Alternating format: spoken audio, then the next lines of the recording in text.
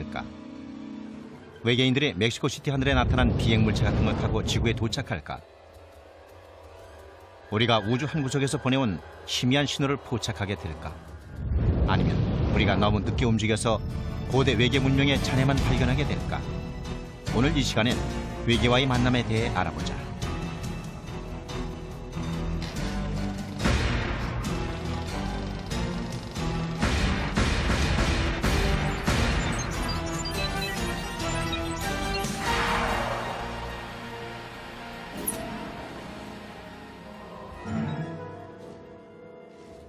지구와 1억 4,959만 킬로미터나 떨어져 있지만 태양은 지구 생명체의 에너지원이다. 태양열이 없었다면 지구는 텅 빈 우주 공간을 조용히 떠다니는 생명 없는 바위 덩어리에 불과했을 것이다. 고대인들은 태양의 중요성을 잘 알고 있었다. 일식 동안 하늘이 갑자기 어두워지면 세상의 종말이라 생각했을지도 모른다. 아, 일식이 아주 좋은 예입니다. 아, 그걸 보면은 고대인들이 뜻밖의 천문 현상이 어떻게 반응했는지 알 수가 있죠. 아, 고대인들은 일식이 뭔지도 몰랐습니다. 달이 태양 앞을 가리는 거라는 사실을 몰랐기 때문에 아, 태양이 사악한 신에게 잡아먹힌 거라고 생각을 했습니다. 그래서 일식이 일어나면 두려움에 떨었죠. 과학의 발달로 미신도 많이 사라졌다. 1540년 폴란드 천문학자 니콜라스 코페르니쿠스가 혁신적인 이론을 내놓았다. 지구가 아니라 태양이 태양계의 중심이라는 이론이었다. 1600년대 초 갈릴레이는 새로운 과학의 기적 망원경을 개발해서 코페르니쿠스의 이론이 사실이었음을 입증했다.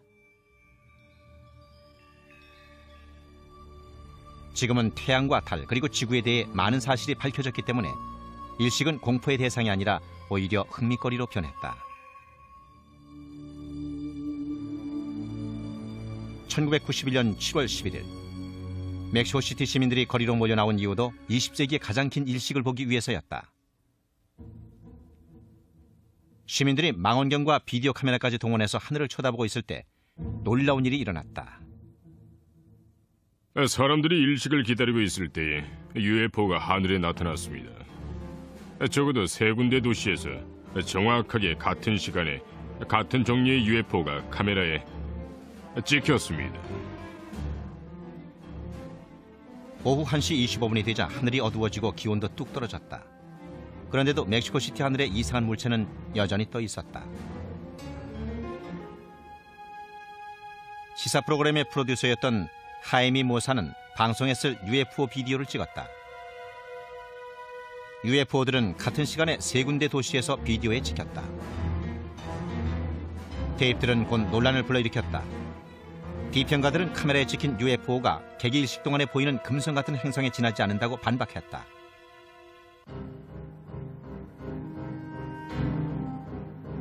(1991년 7월) 말 모사는 방송에 나와 더 많은 UFO 비디오가 필요하다고 말했다. 그의 시청자들은 로스 비엘란테스 델 시에로 즉 하늘 관측자들이란 모임을 결성했다. 멕시코 전역에 수십 개의 관측자 그룹이 생겼습니다. 덕분에 우린 멕시코 하늘을 아주 효율적으로 관측할 수 있었죠. 멕시코에서만 적어도 8천에서 만 개 정도의 비디오 테이프가 모였습니다. 사상 최고였죠. 물론 전부 다 UFO는 아니었습니다. 기상 관측용 기구도 있었죠. 비행기도 있었고요. 하지만 대다수가 아마 10에서 15% 정도가 진짜로 신비한 비행 물체였습니다. 설명하기 힘든 물체였습니다. 이 비디오에 찍힌 물체는 상공을 맴돌고 뒤로도 움직인다. 새나 항공기 혹은 기상 관측용 기구가 일반적으로 보여주는 움직임과는 다르다.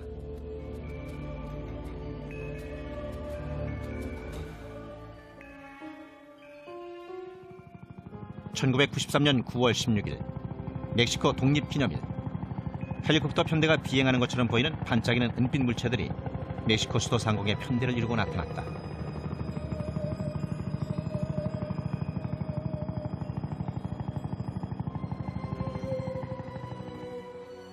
몇 건의 UFO 목격담이 멕시코 시티에서 80km 떨어져 있는 활화산 포포카테푸틀 근처에서 보고됐다. 멕시코 정부는 폭발 상황을 지켜보기 위해서 화산에 카메라를 장착해 놓고 있었다. 1999년 6월 카메라가 UFO의 사진을 찍었다. 멕시코 비디오 중에는 상공을 맴도는 여러 대의 비행 물체를 찍은 것도 있다. 편대 대형이 1952년 7월에 미국에서 촬영된 것과 비슷해 보인다. 그러나 과학적 비교는 아직 이루어지지 않았다. 에, 증거물로 보이는 것들이 굉장히 많이 있지만 아직 분석 과정을 거치지 못했습니다. 아, 비디오가 진짜 UFO를 찍은 건지, 아, 정체가 뭔지, 혹은 속임수는 아닌지, 행성이나 항공기를 찍은 건 아닌지 알아내려면 시간이 좀 걸릴 겁니다. UFO 비디오에 대해서는 보다 많은 연구가 필요합니다. 지금은 멕시코 비디오 중에 설명할 수 없는 것처럼 보이는 것들이 몇 개 있지만 곧 그들이 비행 접시라는 걸 증명할 수 있을 겁니다. 뭔지 모른다와 외계 우주선이야라는 말은 다릅니다. 섣불리 결론을 내리지 않겠습니다. 그럼 안 되죠. 정체를 알 수 없는 그런 존재라 해도 전통적인 설명을 무시해서는 안 된다고 생각합니다. 멕시코의 UFO 목격담 중에서 이 비디오처럼 큰 반향을 불러일으킨 것은 거의 없다. 이 테이프는 많은 사람들이 보는 가운데 찍은 것으로 역사상 목격자가 가장 많은 UFO 목격 사건일 것이다. 1994년 1월 1일 멕시코 시티 전체가 움직임을 멈췄습니다. 정말 그랬어요. 차를 타고 가던 사람들도 차를 세우고 하늘을 쳐다봤습니다. 수백만 명이 UFO를 봤어요. TV에도 방송됐고 라디오에서도 방송됐습니다. 멕시코 시티 모든 신문도 그 일을 대서특필했고요. 굉장한 일이었죠. 그건 어, 멕시코에 비행 물체들이 있다는 사실을 보여주는 사건이었어요. 멕시코인들이 놀란 건 다른 나라 사람들은 아무도 멕시코에서 무슨 일이 일어났는지 몰랐다는 사실입니다. 1992년부터 계속되어 온 UFO 목격 열기는 수많은 UFO 비디오 테이프의 등장과 제이미 모산 같은 기자들 때문에 더욱더 유명해졌다.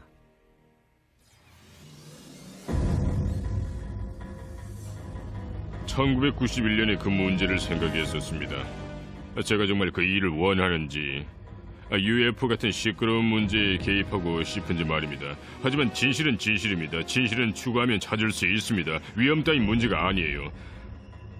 저널리스트로서 사상 최고의 특종을 터뜨리고 싶었습니다. UFO가 바로 그 특종이죠. 위험하긴 해도 특종을 잡으려면 용감해져야 합니다. 그 많은 가치가 있거든요. 가치 말이에요. 하지만 멕시코의 UFO가 오래전부터 존재해온 지질학적 힘의 산물이라고 주장하는 목소리도 있었다.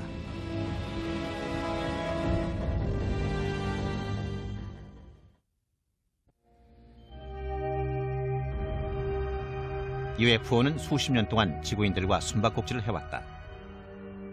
21세기의 문이 활짝 열렸는데도 UFO가 어디서 왔는지 그들이 원하는 게 뭔지 증명해낸 사람은 아무도 없다. 동굴 벽화나 성서 그리고 르네상스 시대 그림을 있는 그대로 인정한다고 해도 수천 년 동안 확실하게 증명된 것은 아무것도 없다. 그런데 몇몇 연구원들이 UFO의 존재를 설명할 새로운 이론을 제시했다. 간단하게 말해서 UFO는 우주에서 온 물체가 아니라 우리 지구의 중심부에서 생성된 빛의 스펙트럼이라는 것이다. 지구는 하나의 거대한 실험 단지입니다. 엄청나게 많은 힘들이 서로 영향을 미치고 있죠. 하지만 우리는 아직까지 지구에 대해서 모르는 게 많습니다. 지구는 빛을 만들어냅니다. 빛의 쇼를 연출하죠. 빛들은 인류보다 오래됐을 겁니다. 빛들도 우리 지구의 일부죠. 자연의 기적 중에는 지진 발광 현상과 구전이 있다.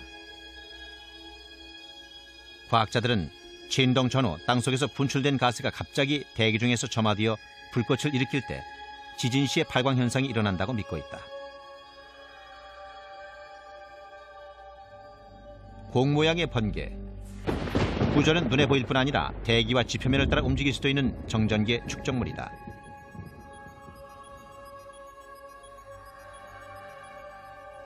그러나 UFO를 연구해온 사람들은 그 같은 자연 현상으로는 소수의 UFO 목격 사건만 설명할 수 있을 뿐이라고 말한다. 오래전부터 보고되어 온 수십만 건의 UFO 목격 사건의 종류를 살펴보면 그 중에는 물론 합당한 조건과 합당한 장소, 합당한 시간에 들어맞아 설명이 가능한 사건들도 있기는 합니다. 하지만 목격 사건의 대부분은 그런 조건에 맞지 않아요. 논쟁이 계속되고 있는 가운데 다른 종류의 자연 현상이 UFO로 오인되고 있다는 말이 나왔다. 지구의 반사광이라 불리는 현상이다. 지구의 반사광은 특성 면에서 좀 다릅니다. 지진 발광 현상과 구전보다는 오래 지속되죠. 어, 그리고 계곡이나 산 같은 특정한 지역에서 자주 나타납니다. 예를 들어서 중국의 오타샨 산과 오마이 산에는 어, 지구의 반사광이 일어나기 때문에 세워진 절들도 있습니다. 그 절들을 지은 사람들은 어, 반사광을 불법의 발현이라고 생각했었죠. 어, 하지만 그 반사광은 그 지역에서 수백 년 동안이나 목격되어 온 겁니다. 그렇지만 지구의 반사광이 어떻게 생성되는지 정확하게 설명할 수 있는 사람은 없다. 여러 이론을 실험해 봤는데 가장 강력한 주장 중 하나는 판을 이루어 움직이고 있는 지각의 표층 때문이라는 겁니다. 지진 자체는 아니더라도 지진 때문일 수도 있지요. 어, 지각의 표층 때문에 힘의 장이 생성되고 그 때문에 우리가 아직은 잘 이해를 못하고 있지만 플라즈마가 만들어지는 거죠. 자연현상 지지자들은 전리기체인 플라즈마가 그동안 널리 알려진 UFO 목격담 대부분을 설명할 수 있다고 생각한다. 예를 들어보죠. 캐스케이드 산맥을 날았던 케네스 아놀드의 경우를 생각해 보면 그는 발광체 9개를 봤습니다. 당시 캐스케이드 산맥은 구조 지질학적으로 불안정한 곳이었습니다. 어, 당시 기록을 보면 최대 규모의 지진이 일어났다고 적혀 있어요.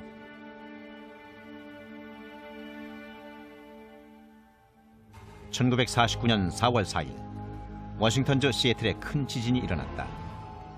하지만 그 지진은 케네스 아널드가 비행체를 본 지 18달 후에 일어났다. 두 사건이 관련이 있을까? 그럴듯하네요. 지진 때문에 발광 현상이 일어났다고요? 네. 사람들은 비행 접시 주위에서 발광 현상을 목격하기도 합니다. 하지만 둘은 인과관계가 전혀 없습니다. 그러나 지구의 반사광 이론에 의하면 대규모의 플라즈마가 UFO와 비슷하게 보이는 것도 사실이다. 플라즈마에 대해 재미있는 사실은 밤에 빛을 발한다는 겁니다. 밤하늘에서 빛이 나지요. 어, 그런데 낮에는 그냥 어, 빛을 반사해서 금속처럼 보입니다. 하지만 빛을 반사하고 금속처럼 보인다고 해서 플라즈마와 UFO를 동일시할 수 있을까? 모든 걸 자연 현상이라고 한다면 그 특별한 능력은 다 뭐죠? 하늘을 맴돌고 어, 급 강하했다가 다음 순간 급 상승해서 지하에서 사라집니다. 그런 건 우리가 모르는 기술입니다. 절대로 자연 현상이 아니에요. 우리가 모르는 아주 이상한 물체입니다. 지구의 반사광 플라즈마 같은 자연 현상들이 UFO로 오인받기 위해서는 아주 특별한 능력을 보였어야 했을 것이다. 1980년에 벤트워터스 공군 기지에서 일어난 목격 사건이나 1967년에 캐나다 어촌 세강 사건이 좋은 예다. 플라즈마도 물 위에 착륙할 수 있고 물 속에서 목격된 적도 있습니다. 처음부터 땅 속에 있었던 것처럼 땅에서 솟아오르는 것도 있고요. 그리고 어떤 건 땅 위에 있고 어떤 건 언덕 너머로 사라졌다가 다시 나타나서 땅으로 내려오기도 합니다. 자연현상 지지자들에 의하면 지구의 반사광이 UFO를 설명하는 최고이자 유일한 방법이다. 우리가 지구의 반사광과 그에 관련된 현상에 대해 전부 다 안다면 어, 양자 물리학이나 어, 어, 그리고 플라즈마 물리학은 비약적인 발전을 할 겁니다. 아마도 단숨에 10년 정도는 쉽게 건너뛸 수 있을 거예요. UFO 연구원들은 자신들이 본 것을 플라즈마나 지구의 반사광이라 설명하기는 역부족이라고 말한다. 지구의 반사광이나 플라즈마 혹은 구전이나 다른 자연 현상의 특성을 살펴볼 필요가 있습니다. 어떻게 움직이고 어떤 색깔이고 크기는 어떻게 되죠? 지상에 착륙했던 비행 접시는 에, 지름이 3m에서 9m는 됩니다. 아, 하지만 플라즈마는 보통 이 정도밖에는 안 돼요. 양쪽의 특성을 주의 깊게 살펴보는 게 중요합니다. 서로를 관련시켜 설명하려면 모든 게 일치해야 되니까요. 놀랄 일은 아니지만 멕시코시티 UFO 목격담 열기 역시 똑같은 논쟁에 휘말려왔다. 포포카 테프들 화산 근처에서 이상한 빛들이 여러 개 나타났다. 그리고 이상한 빛들이 목격되기 시작한 그 순간에 오랜 세월 잠들어 있던 화산이 갑자기 활동을 시작했다.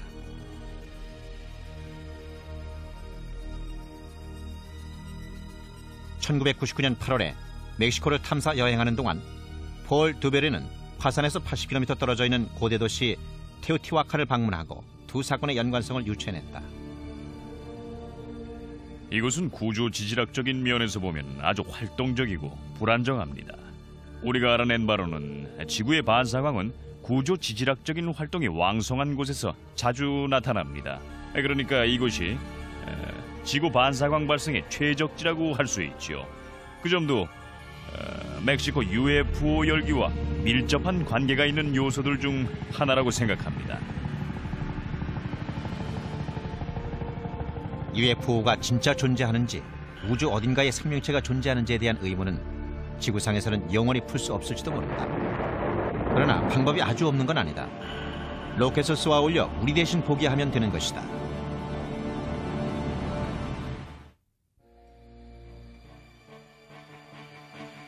고대에는 비록 전기의 축복을 받진 못했지만 그 대신에 한 가지 특별한 보상이 있었다.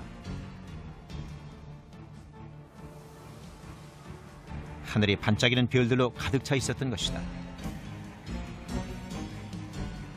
초기 천문학자들은 소수의 천체가 항성의 느리고 규칙적인 자전에 얽매이지 않고 하늘에서 자유롭게 돌아다닌다는 사실을 깨달았다.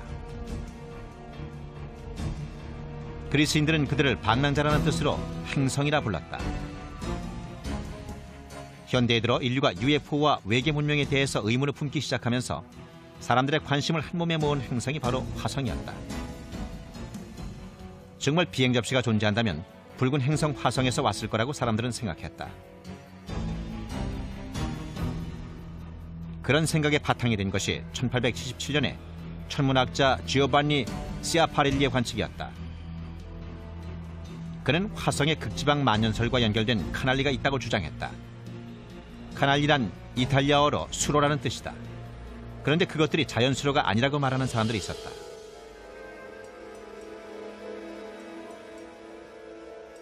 로월이라는 미국 천문학자는 그 수로들이 외계 문명에 의해서 인공적으로 만들어진 수로라고 생각했습니다. 그리고 그는 화성을 광범위하게 연구해서 그런 구조물을 만든 화성의 문명에 대해 책도 여러 권 썼죠. 그래서 많은 사람들이 화성인들과 교신하는 법에 대해 생각하게 됐습니다.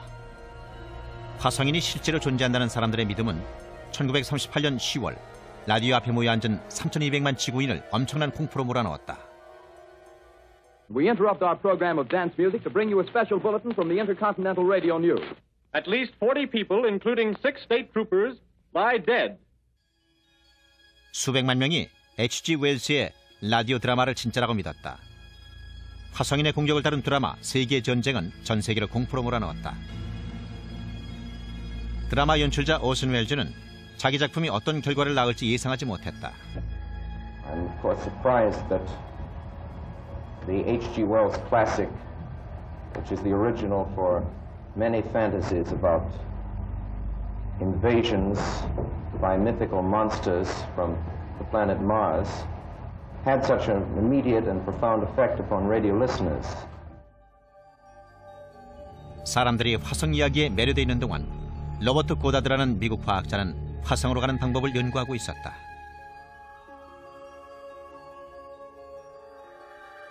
고다드는 지상으로부터 높은 대기권으로 로켓을 쏘아 올리는 독창적인 생각을 갖고 있었습니다. 하지만 그 생각은 미국 과학자들 사이에서는 말도 안 되는 얘기로 무시당했죠. 그런데 아, 독일에 그의 팬들이 있었습니다. 워너폰 브라운 같은 사람이 그의 연구서를 읽고 독일에서 그의 디자인을 연구해 개발하려는 계획을 세웠죠. 아, 그게 바로 2차 대전 동안 미국과 소련 우주 계획의 조상이라 할 수 있는 V2 로켓 개발로 아, 이어졌던 겁니다.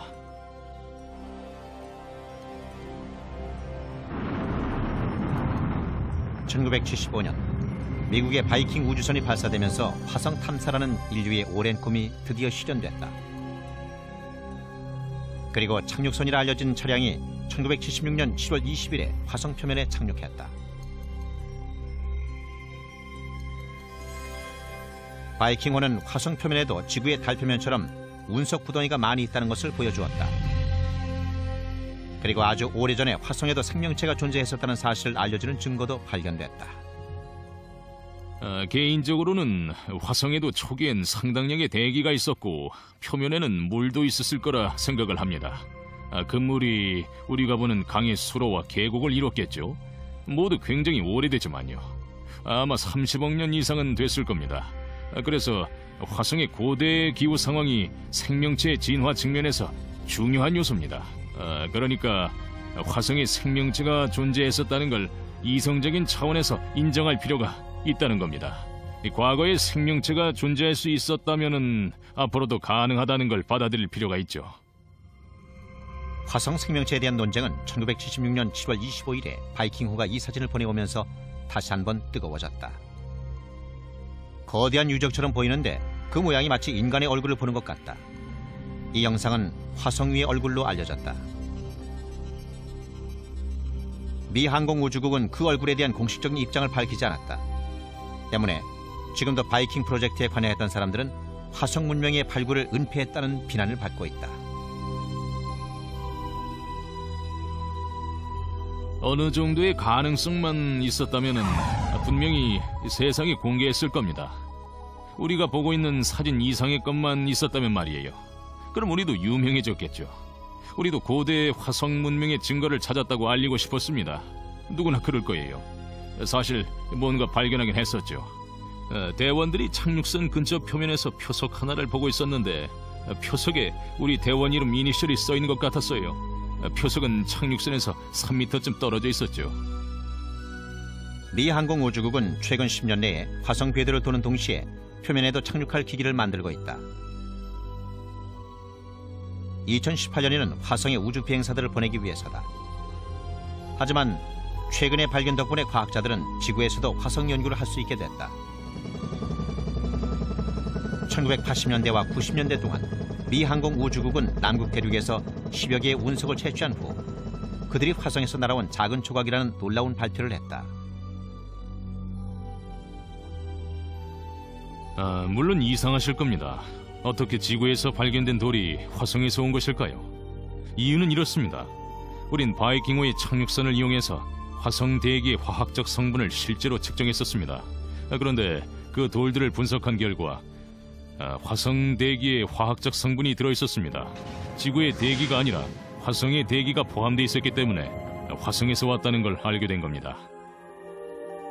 과학자들은 그 돌들이 1600만 년 전 소행성이 화성 표면에 충돌했을 때 화성에서 떨어져 나온 것이라고 생각한다.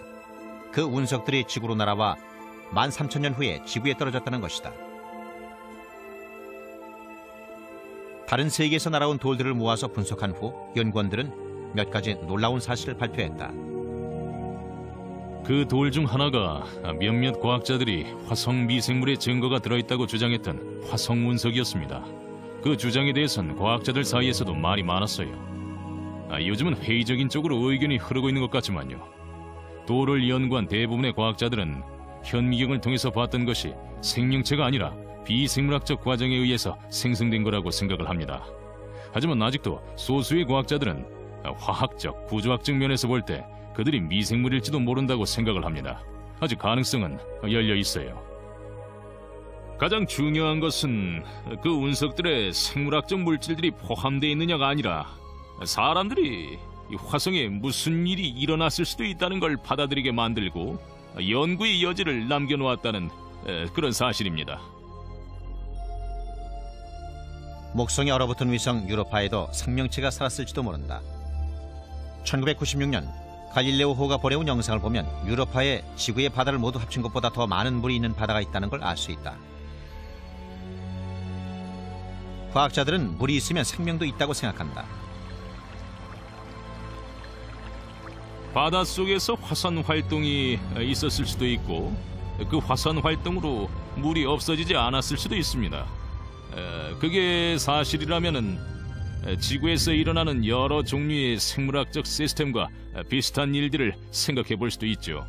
아, 이론적이긴 해도 과학자들로 하여금 유로파 같은 곳에 대해서 더 많은 걸 알고 싶어하는 욕구를 가지게 만듭니다. 결과적으로 행성 탐사 연구는 지구에만 생명체가 살고 있는 건 아니라는 사실을 부각시켰고 따라서 UFO가 존재할지도 모른다는 가정을 가능하게 만들었다. 덕분에 은하계와 우주에도 생명체가 있다고 믿는 사람들의 믿음이 한층 더 강해졌어요. UFO의 존재 가능성을 보여주는 예가 여러 개 나타났으니까요. 그래서 우주 계획이 더 중요해진 겁니다. 인간이 해온 일 중에 가장 중요한 일인지도 몰라요. 머나먼 우주에서도 생명체를 발견할 수 있으리라는 가능성에도 불구하고 최근에 로켓 기술이 먼 우주 탐사에 걸림돌이 되고 있다. 여행 기간이 너무 오래 걸린다는 게 문제다. 보이저 2호는 인류가 만든 가장 빠른 우주선이지만 태양계 외곽까지 거리의 절반에 불과한 천왕성까지 가는데 9년이나 걸렸다.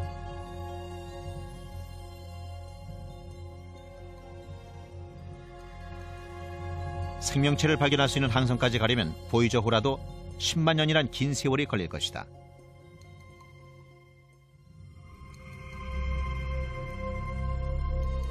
그런 현실에 맞서서 과학이 외계 문명에 도달할 수 있는 다른 방법을 찾아냈다. 우주 공간을 향해 고감도의 무선 안테나를 설치해서 외계 문명과 교신하게 되길 기다리는 것이다.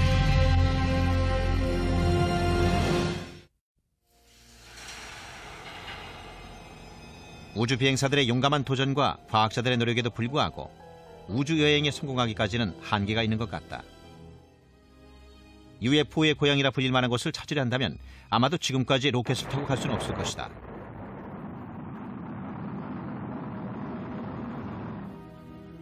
머나먼 우주를 탐사하기 위해서 연구원들은 지금 100년 전만 해도 생각지도 못했던 첨단 기술인 무선 교신에 눈길을 돌리고 있다. 구글리엘모 마르코니라는 이탈리아 과학자가 어떤 영감이 떠올라 전기 부품을 조립했다.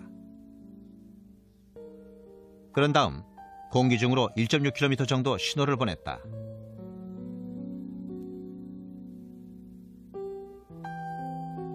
마르코니는 자신의 발명품을 개량해서 1901년 태서양을 건너 최초의 라디오 방송을 전송할 수 있었다. 크리스토퍼 콜럼버스는 보내는데 석 달이 걸린 메시지를 눈 깜짝할 사이에 보낼 수 있게 된 것이다.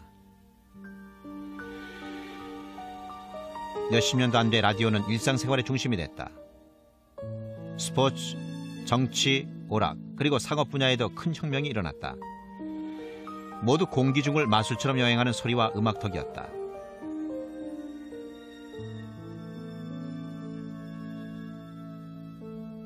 그리고 머지않아서 모험적인 기술자들은 행성 간의 교신 쪽으로 눈길을 돌렸다. 사람들은 화성인 얘기에 귀를 기울이게 되면서 화성인이 우리한테 신호를 보낼지도 모른다고 생각하게 됐습니다. 마르코니 같은 사람들은 화성으로부터 신호를 받았다고 발표했었죠.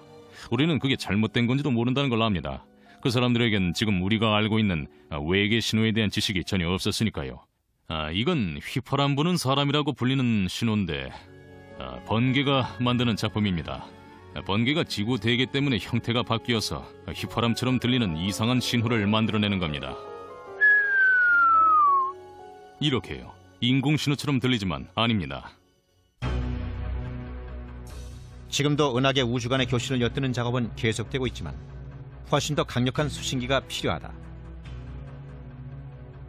이것은 전파 망원경으로 태양계 밖에서 오는 희미한 신호를 찾아서 우주 공간을 향하고 있다. 어떤 물리학자들은 전파 망원경으로 다른 행성의 지능적인 생명체와 교신할 수 있을지도 모른다고 생각한다. 매사추세츠주 캠브리지에 있는 하버드 대학에는 우주의 생명체를 찾는 데 필요한 지구 최고의 건파기가 실험실에서 업데이트되고 있다.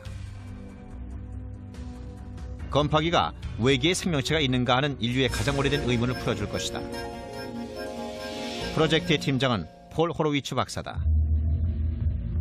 우린 외계에 사는 지적인 생명체가 보내는 최초의 신호를 기다리고 있습니다. 어떤 종류의 신호가 올지 추측해보죠. 빛으로 올까요? 무선 빔으로 소식이 올까요? 전파일 가능성이 높습니다. 전파 중에서도 가장 가능성이 높은 건 극초단파고요. 무슨 신호를 보내올까요? 지금은 상상뿐입니다. 어, 떤 사람들은 나 여기 있어요란 말만 담겨진 송신기만 켜져 있을지도 모른다고 믿습니다. 라디오는 지난 100여 년 동안 우리 가까이에 있었다. 그러나 지난 10년 동안 컴퓨터가 세티, 즉 외계 생명체 찾기를 위해 필요한 능력을 갖추게 됐다. 최근 연구 덕에 2억 5천만 채널을 가진 전파 수신기를 만들었습니다. 아, 채널이 2억 5천만 개란 뜻은 스캐너 같은 게 아닙니다. 다시 말해 책상 위에 인근 채널에 맞춰진 라디오가 2억 5천만 개란 뜻이죠. 아마도 지구 최고의 전파 분광계일 겁니다.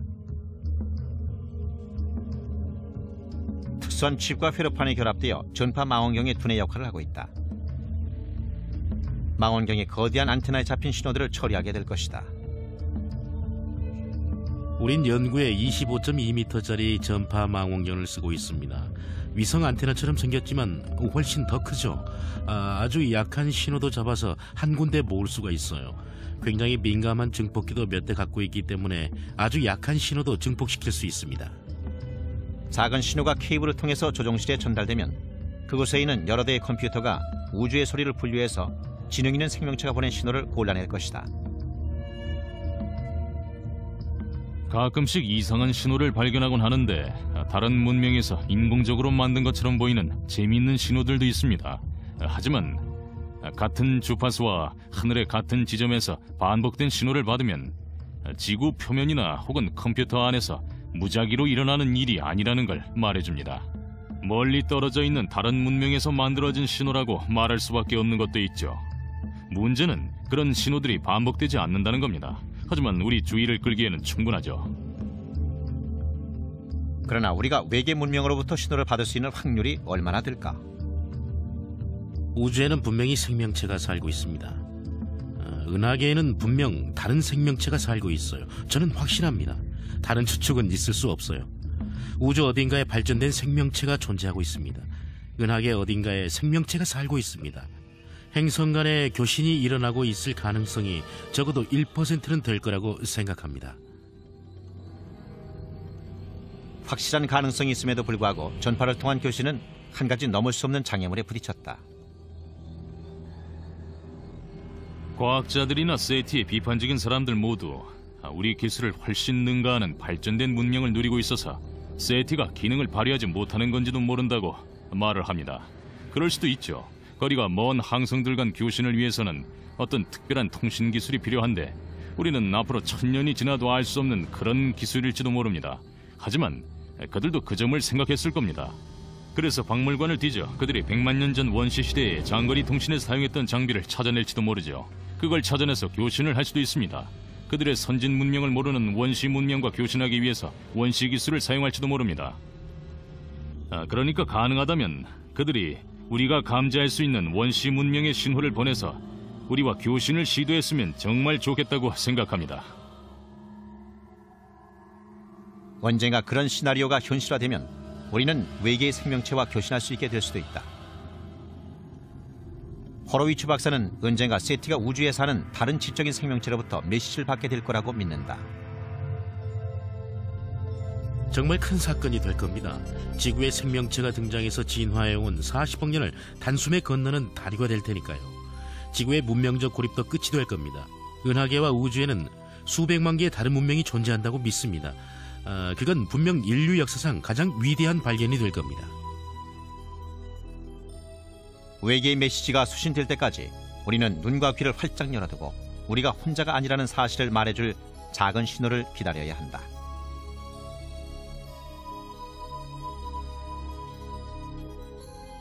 그러나 1980년대에 활동했던 UFO 연구원들 중에는 외계 방문객들이 연락을 취했다는 증거가 우리 지구상에 많이 남아 있다고 믿는 사람들도 있었다.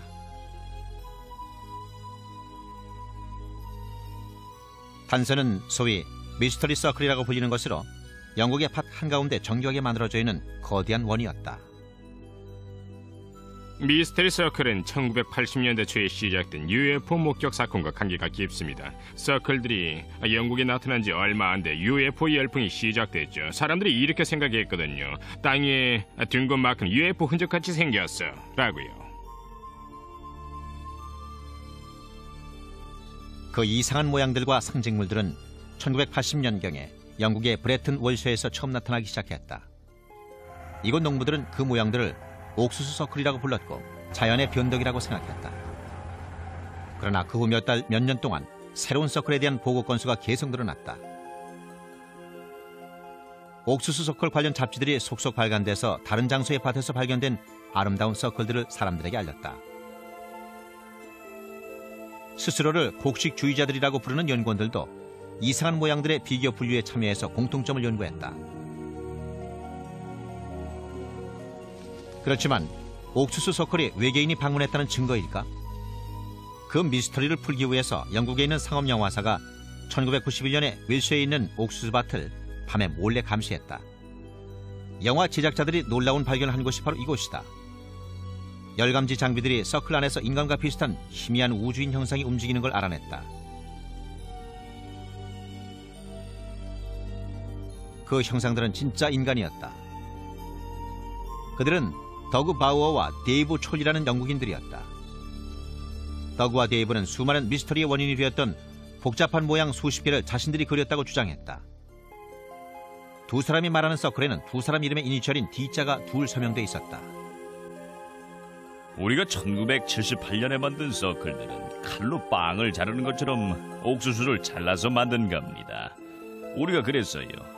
그때부터 그걸 만들기 시작했습니다.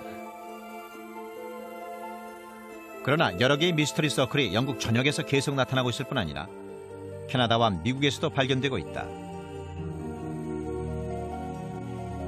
더그와 데이브는 서클을 만들지 않았습니다. 사실이라면 지구 전역을 정신없이 돌아다녀야 했겠죠.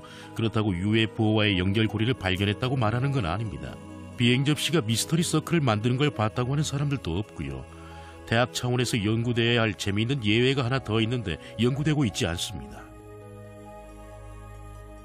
미스터리 서클이 아니더라도 대부분의 UFO 연구원들은 설명이 불가능한 사진들과 목격자들의 증언이 UFO가 진짜로 존재하며 규칙적으로 지구를 방문하고 있다는 걸 증명한다고 믿고 있다.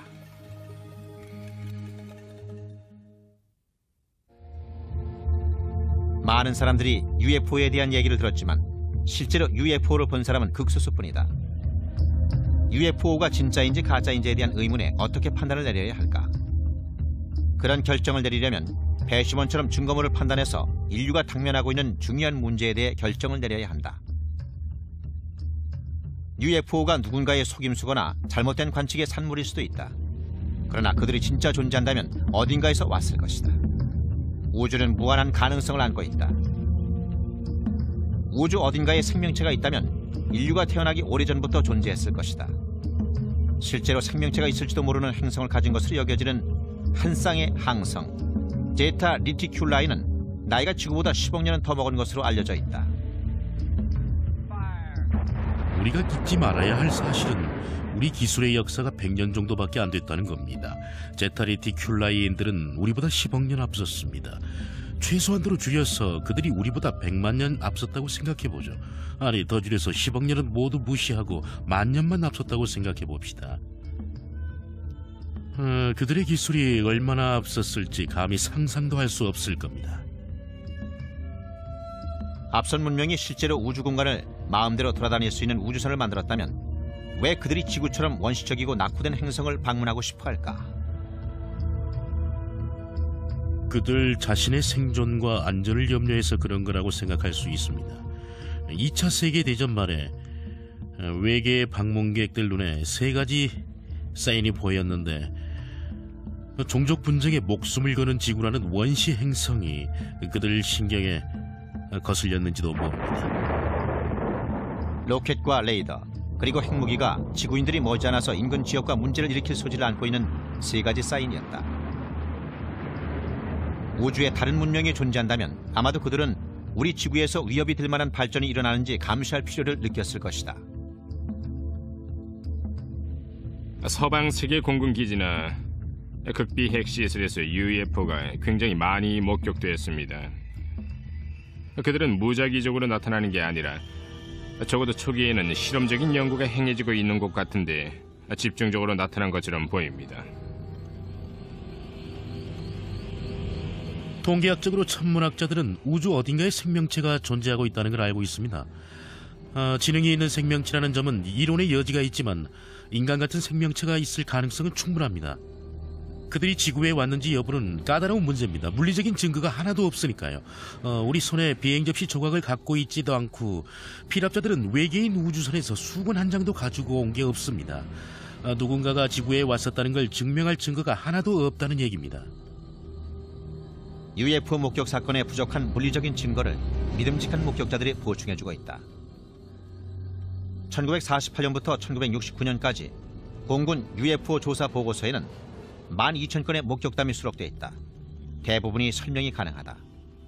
그러나 700건의 목격자들 증거는 공군이 설명하려고 열심히 노력했지만 여전히 미스터리로 남았다. 공군은 결과를 틀리게 전하려고 온갖 종류의 속임수를 나섰습니다. 겨우 700건만 설명할 수가 없다고 강조했죠. 겨우라고요? 제가 암 치료제를 찾고 있고 12,000개의 화학약품을 실험했는데 700개만 효능이 있었다면 치료제가 없다고 할 수 있을까요? 말도 안 되는 얘기죠. 그러나 절대적으로 신빙성 있는 목격자들의 증언도 충분하지 않다. 적어도 UFO에 관한 한 그런 것 같다. UFO 문제에 대해 논할 때면 온통 말뿐입니다. 난 뭔가를 봤다. 하늘의 빛을 봤다. 부서진 비행 접시를 봤다. 말이 전부입니다. 증거가 없어요. 전혀요. 하지만 비디오와 사진들이 UFO 목격자들의 증언을 강력하게 뒷받침하고 있다. 전문가들이 수많은 사진을 검사해봤지만 속임수라는 증거를 발견할 수 없었다. 그러나 UFO가 진짜 존재한다는 타당한 의심을 증명할 수 있다면 우리는 새로운 문제에 직면하게 될 뿐이다. 아, UFO 목격담은 우리 지성에 대한 큰 도전입니다. 아니, 우리 겸손에 대한 도전이라고 할 수 있죠. 인류는 자신을 주인으로 생각하고 싶어 합니다. UFO 문제를 심각하게 받아들이면 인류는 더 이상 주인이 아니게 되죠. 아, 그 때문에 인류는 문화에 상관없이 심적으로는 UFO를 부인하고 싶을 겁니다. 감정적으로 처리할 방법을 모르니까요. 외계인을 지적인 존재로도 생각하지 않습니다.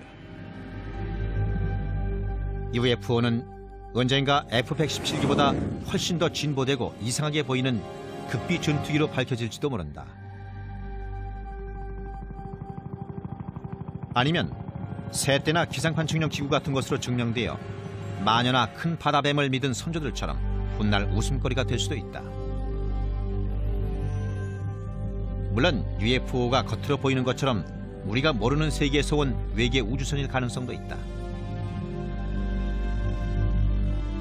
그때까지 UFO에 대한 진실은 보는 사람의 판단에 맡길 수밖에 없을 것 같다.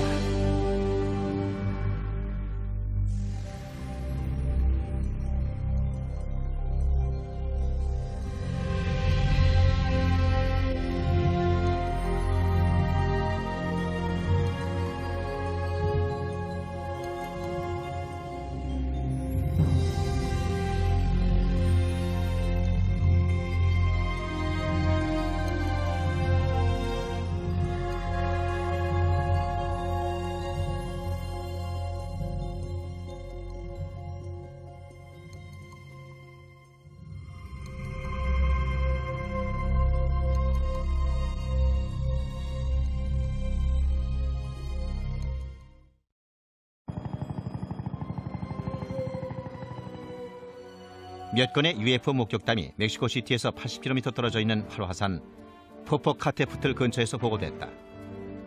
멕시코 정부는 폭발 상황을 지켜보기 위해서 화산에 카메라를 장착해 놓고 있었다. 1999년 6월 카메라가 UFO의 사진을 찍었다. 멕시코 비디오 중에는 상공을 맴도는 여러 대의 비행 물체를 찍은 것도 있다.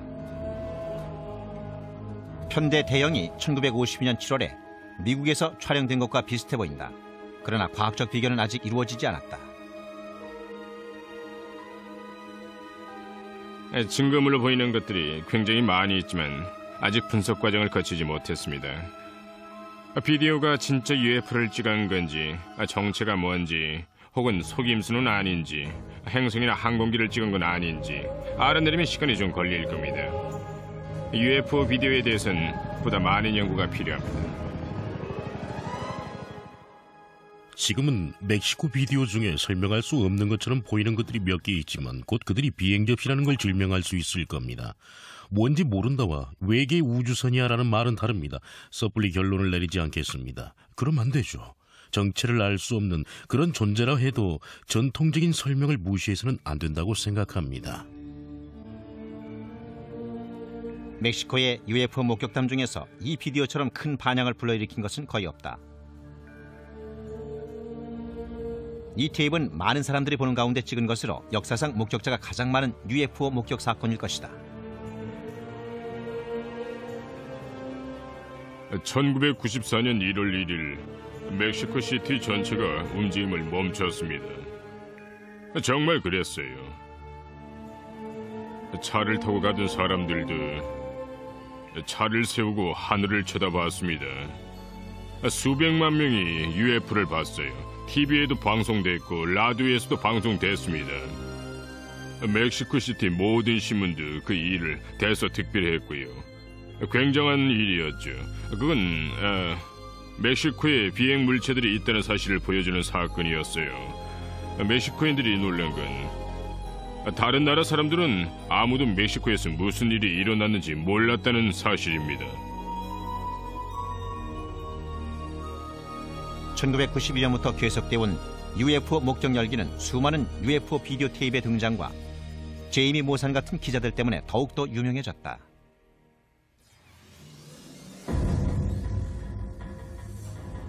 (1991년에) 그 문제를 생각했었습니다 제가 정말 그 일을 원하는지 UFO 같은 시끄러운 문제에 개입하고 싶은지 말입니다. 하지만 진실은 진실입니다. 진실은 추구하면 찾을 수 있습니다. 위험 따윈 문제가 아니에요. 저널리스트로서 사상 최고의 특종을 터뜨리고 싶었습니다. UFO가 바로 그 특종이죠. 위험하긴 해도 특종을 잡으려면 용감해져야 합니다. 그 많은 가치가 있거든요. 가치 말이에요. 하지만 멕시코의 UFO가 오래전부터 존재해온 지질학적 힘의 산물이라고 주장하는 목소리도 있었다.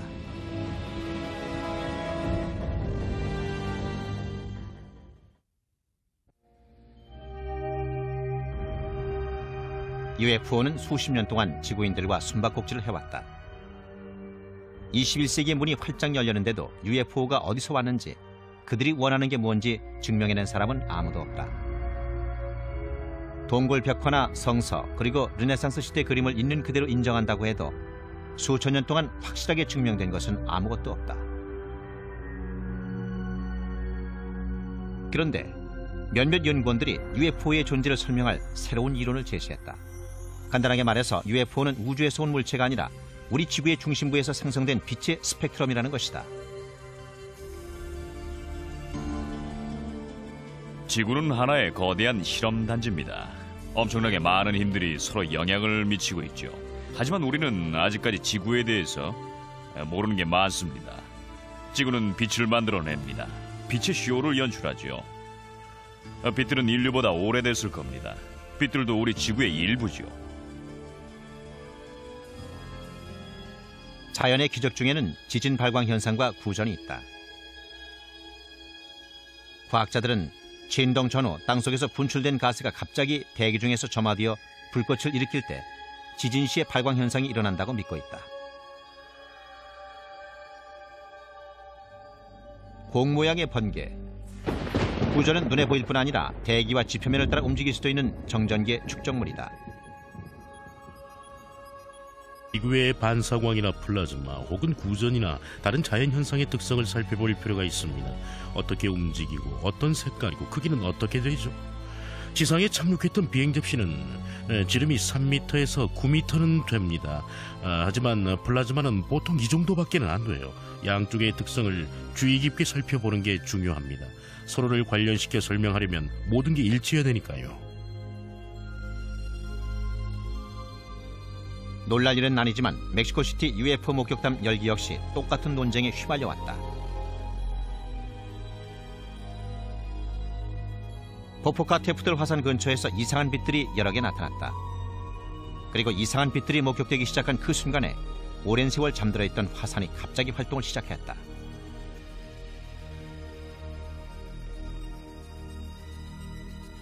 (1999년 8월에) 멕시코를 탐사 여행하는 동안 폴 두베르는 화산에서 80km 떨어져 있는 고대 도시 테오티와칸을 방문하고 두 사건의 연관성을 유추해냈다.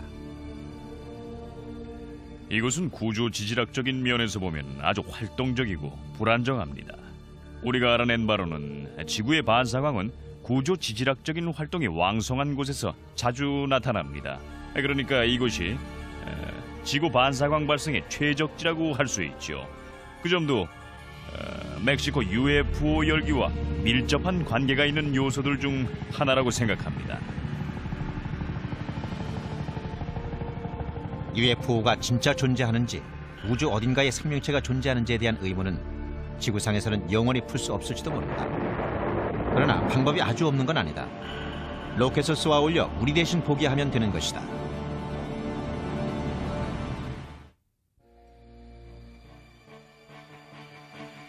고대에는 비록 전기의 축복을 받진 못했지만 그 대신에 한 가지 특별한 보상이 있었다. 하늘이 반짝이는 별들로 가득 차 있었던 것이다. 초기 천문학자들은 소수의 천체가 항성의 느리고 규칙적인 자전에 얽매이지 않고 하늘에서 자유롭게 돌아다닌다는 사실을 깨달았다. 그리스인들은 그들을 방랑자라는 뜻으로 행성이라 불렀다. 현대에 들어 인류가 UFO와 외계 문명에 대해서 의문을 품기 시작하면서 사람들의 관심을 한 몸에 모은 행성이 바로 화성이었다. 정말 비행 접시가 존재한다면 붉은 행성 화성에서 왔을 거라고 사람들은 생각했다. 그런 생각에 바탕이 된 것이 1877년에 천문학자 지오반니 시아파렐리의 관측이었다. 그는 화성의 극지방 만년설과 연결된 카날리가 있다고 주장했다. 카날리란 이탈리아어로 수로라는 뜻이다. 그런데 그것들이 자연수로가 아니라고 말하는 사람들이 있었다.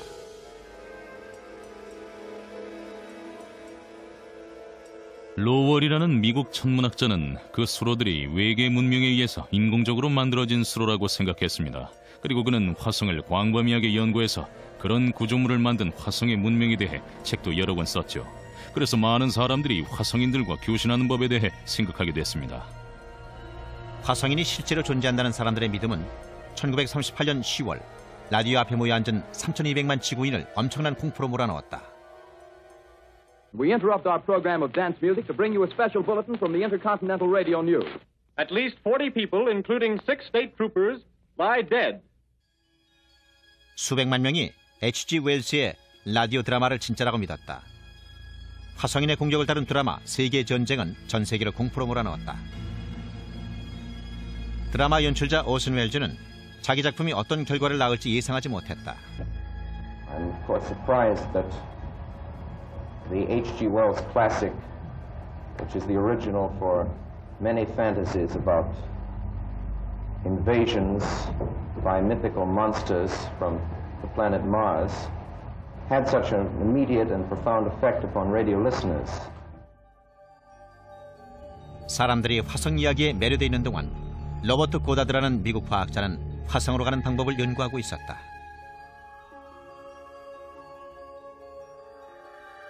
고다드는 지상으로부터 높은 대기권으로 로켓을 쏘아 올리는 독창적인 생각을 갖고 있었습니다.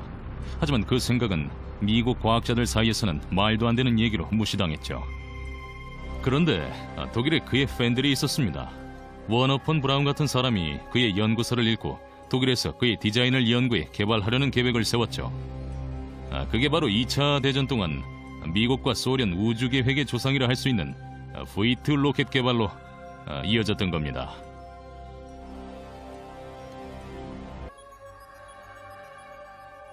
그러나 UFO를 연구해온 사람들은 그 같은 자연현상으로는 소수의 UFO 목격 사건만 설명할 수 있을 뿐이라고 말한다.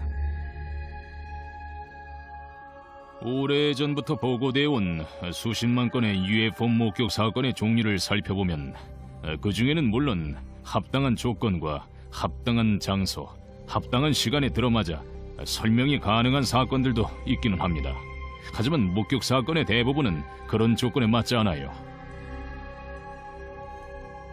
논쟁이 계속되고 있는 가운데 다른 종류의 자연 현상이 UFO로 오인되고 있다는 말이 나왔다. 지구의 반사광이라 불리는 현상이다.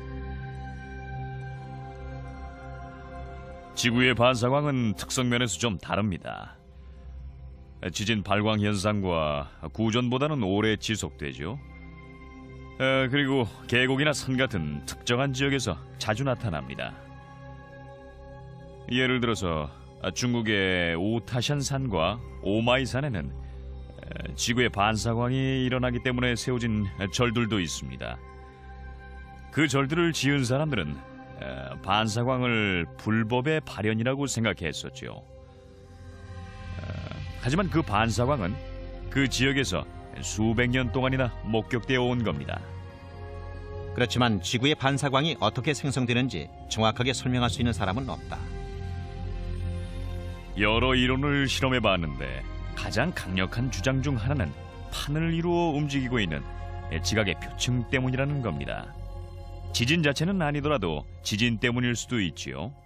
어, 지각의 표층 때문에 힘의 장이 생성되고 그 때문에 우리가 아직은 잘 이해를 못하고 있지만 플라즈마가 만들어지는 거죠. 자연현상 지지자들은 전리기체인 플라즈마가 그동안 널리 알려진 UFO 목격담 대부분을 설명할 수 있다고 생각한다. 예를 들어보죠. 캐스케이드 산맥을 날았던 케네스 아놀드의 경우를 생각해 보면 그는 발광체 9개를 봤습니다. 당시 캐스케이드 산맥은 구조 지질학적으로 불안정한 곳이었습니다.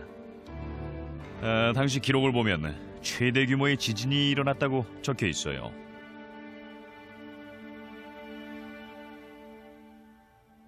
(1949년 4월 4일) 워싱턴주 시애틀에 큰 지진이 일어났다. 하지만 그 지진은 케네스 아널드가 비행체를 본 지 18달 후에 일어났다. 두 사건이 관련이 있을까? 그럴듯하네요. 지진 때문에 발광 현상이 일어났다고요? 네. 사람들은 비행 접시 주위에서 발광 현상을 목격하기도 합니다.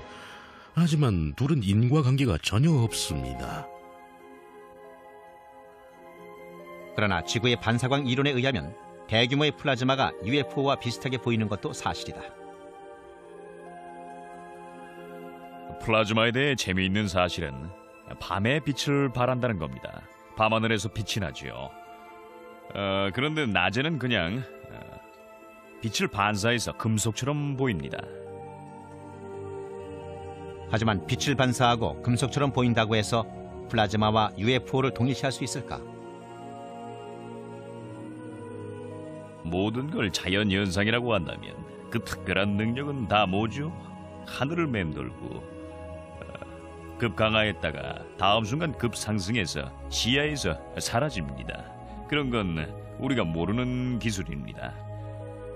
절대로 자연 현상이 아니에요. 우리가 모르는 아주 이상한 물체입니다. 지구의 반사광 플라즈마 같은 자연 현상들이 UFO로 오인받기 위해서는 아주 특별한 능력을 보였어야 했을 것이다. 1980년에 벤트워터스 공군 기지에서 일어난 목격 사건이나 1967년에 캐나다 어촌 세강 사건이 좋은 예다. 플라즈마도 물 위에 착륙할 수 있고 물 속에서 목격된 적도 있습니다. 처음부터 땅 속에 있었던 것처럼 땅에서 솟아오르는 것도 있고요. 그리고 어떤 건 땅 위에 있고 어떤 건 언덕 너머로 사라졌다가 다시 나타나서 땅으로 내려오기도 합니다. 자연현상 지지자들에 의하면 지구의 반사광이 UFO를 설명하는 최고이자 유일한 방법이다. 우리가 지구의 반사광과 그에 관련된 현상에 대해 전부 다 안다면 어, 양자 물리학이나 어, 어, 그리고 플라즈마 물리학은 비약적인 발전을 할 겁니다. 아마도 단숨에 10년 정도는 쉽게 건너뛸 수 있을 거예요. UFO 연구원들은 자신들이 본 것을 플라즈마나 지구의 반사광이라 설명하기는 역부족이라고 말한다.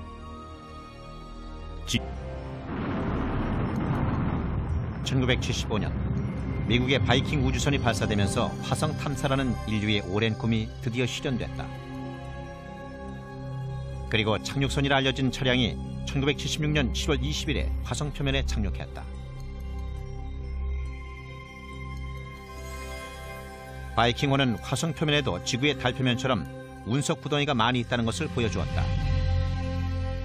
그리고 아주 오래전에 화성에도 생명체가 존재했었다는 사실을 알려주는 증거도 발견됐다. 아, 개인적으로는 화성에도 초기엔 상당량의 대기가 있었고 표면에는 물도 있었을 거라 생각을 합니다. 아, 그 물이 우리가 보는 강의 수로와 계곡을 이뤘겠죠. 모두 굉장히 오래됐지만요. 아마 30억 년 이상은 됐을 겁니다. 아, 그래서 화성의 고대 기후 상황이 생명체의 진화 측면에서 중요한 요소입니다. 아, 그러니까 화성에 생명체가 존재했었다는 걸 이성적인 차원에서 인정할 필요가 있다는 겁니다. 이 과거에 생명체가 존재할 수 있었다면은 앞으로도 가능하다는 걸 받아들일 필요가 있죠. 화성 생명체에 대한 논쟁은 1976년 7월 25일에 바이킹호가 이 사진을 보내오면서 다시 한번 뜨거워졌다. 거대한 유적처럼 보이는데 그 모양이 마치 인간의 얼굴을 보는 것 같다. 이 영상은 화성 위의 얼굴로 알려졌다. 미 항공우주국은 그 얼굴에 대한 공식적인 입장을 밝히지 않았다. 때문에 지금도 바이킹 프로젝트에 관여했던 사람들은 화성 문명의 발굴을 은폐했다는 비난을 받고 있다. 어느 정도의 가능성만 있었다면은 분명히 세상에 공개했을 겁니다.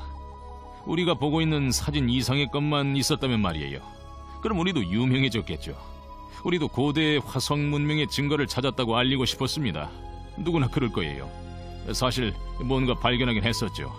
어, 대원들이 착륙선 근처 표면에서 표석 하나를 보고 있었는데 어, 표석에 우리 대원 이름 이니셜이 써 있는 것 같았어요. 어, 표석은 착륙선에서 3m쯤 떨어져 있었죠. 미 항공우주국은 최근 10년 내에 화성 궤도를 도는 동시에 표면에도 착륙할 기기를 만들고 있다. 2018년에는 화성에 우주 비행사들을 보내기 위해서다. 하지만 최근의 발견 덕분에 과학자들은 지구에서도 화성 연구를 할 수 있게 됐다. 1980년대와 90년대 동안 미 항공 우주국은 남극 대륙에서 10여 개의 운석을 채취한 후 그들이 화성에서 날아온 작은 조각이라는 놀라운 발표를 했다. 아, 물론 이상하실 겁니다. 어떻게 지구에서 발견된 돌이 화성에서 온 것일까요? 이유는 이렇습니다. 우린 바이킹호의 착륙선을 이용해서 화성 대기의 화학적 성분을 실제로 측정했었습니다. 아, 그런데 그 돌들을 분석한 결과 아, 화성 대기에 화학적 성분이 들어있었습니다. 지구의 대기가 아니라 화성의 대기가 포함되어 있었기 때문에 화성에서 왔다는 걸 알게 된 겁니다. 과학자들은 그 돌들이 1600만 년 전 소행성이 화성 표면에 충돌했을 때 화성에서 떨어져 나온 것이라고 생각한다. 그 운석들이 지구로 날아와 13,000년 후에 지구에 떨어졌다는 것이다. 다른 세계에서 날아온 돌들을 모아서 분석한 후 연구원들은 몇 가지 놀라운 사실을 발표했다. 그 돌 중 하나가 몇몇 과학자들이 화성 미생물의 증거가 들어있다고 주장했던 화성 운석이었습니다. 그 주장에 대해선 과학자들 사이에서도 말이 많았어요. 아, 요즘은 회의적인 쪽으로 의견이 흐르고 있는 것 같지만요. 돌을 연구한 대부분의 과학자들은 현미경을 통해서 봤던 것이 생명체가 아니라 비생물학적 과정에 의해서 생성된 거라고 생각을 합니다. 하지만 아직도 소수의 과학자들은 화학적, 구조학적 면에서 볼 때 그들이 미생물일지도 모른다고 생각을 합니다. 아직 가능성은 열려 있어요. 가장 중요한 것은 그 운석들에 생물학적 물질들이 포함되어 있느냐가 아니라 사람들이 이 화성에 무슨 일이 일어났을 수도 있다는 걸 받아들이게 만들고 연구의 여지를 남겨놓았다는 에, 그런 사실입니다. 목성에 얼어붙은 위성 유로파에도 생명체가 살았을지도 모른다.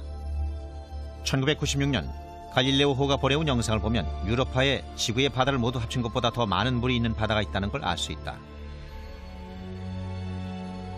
과학자들은 물이 있으면 생명도 있다고 생각한다. 바닷속에서 화산 활동이 있었을 수도 있고 그 화산 활동으로 물이 없어지지 않았을 수도 있습니다. 에, 그게 사실이라면은 에, 지구에서 일어나는 여러 종류의 생물학적 시스템과 에, 비슷한 일들을 생각해 볼 수도 있죠. 아, 이론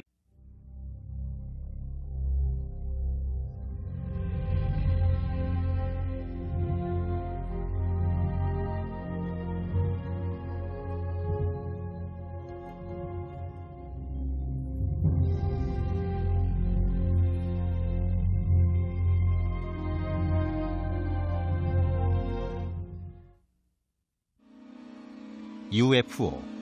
우리가 정말 외계인과 만나게 된다면 어떤 경로로 이루어질까? 외계인들이 멕시코시티 하늘에 나타난 비행물체 같은 걸 타고 지구에 도착할까? 우리가 우주 한 구석에서 보내온 희미한 신호를 포착하게 될까?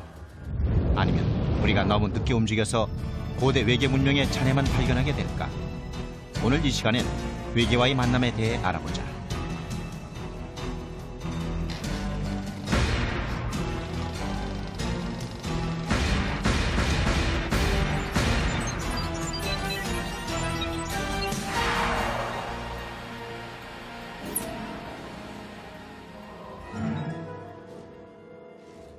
지구와 1억 4,959만 킬로미터나 떨어져 있지만 태양은 지구 생명체의 에너지원이다.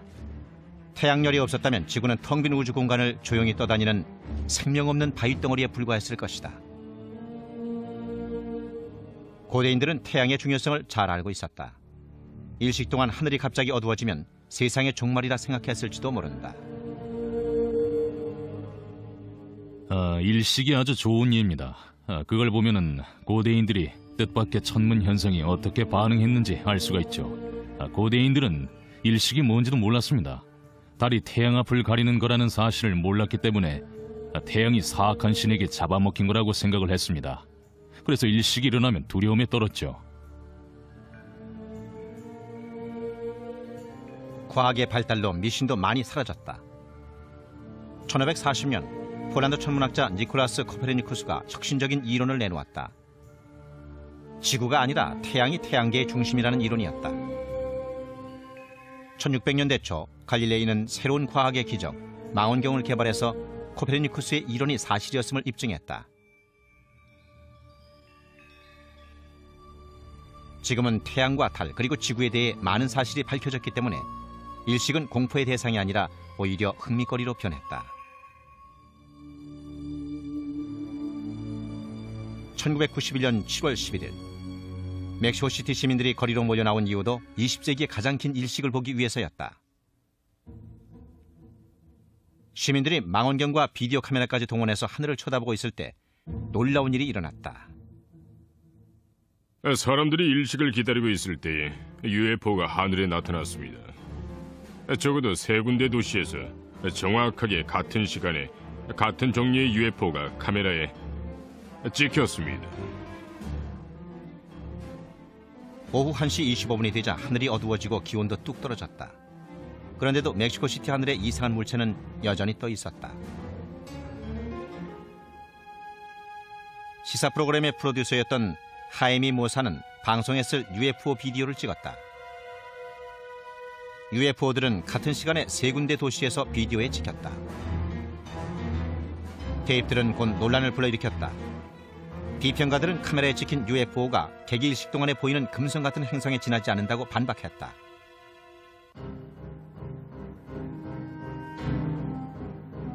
(1991년 7월 말) 모사는 방송에 나와 더 많은 UFO 비디오가 필요하다고 말했다. 그의 시청자들은 로스 비엘란테스 델 시에로 즉 하늘 관측자들이란 모임을 결성했다. 멕시코 전역에 수십 개의 관측자 그룹이 생겼습니다. 덕분에 우린 멕시코 하늘을 아주 효율적으로 관측할 수 있었죠. 멕시코에서만 적어도 8천에서 만 개 정도의 비디오 테이프가 모였습니다. 사상 최고였죠. 물론 전부 다 UFO는 아니었습니다. 기상 관측용 기구도 있었죠. 비행기도 있었고요. 하지만 대다수가 아마 10에서 15% 정도가 진짜로 신비한 비행 물체였습니다. 설명하기 힘든 물체였습니다. 이 비디오에 찍힌 물체는 상공을 맴돌고 뒤로도 움직인다. 새나 항공기 혹은 기상 관측용 기구가 일반적으로 보여주는 움직임과는 다르다.